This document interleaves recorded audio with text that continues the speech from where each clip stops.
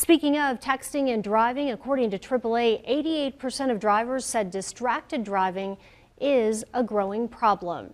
49% of drivers admitted to talking on a handheld phone while driving in the past three years, while 35% admitted to sending text messages and emails while behind the wheel.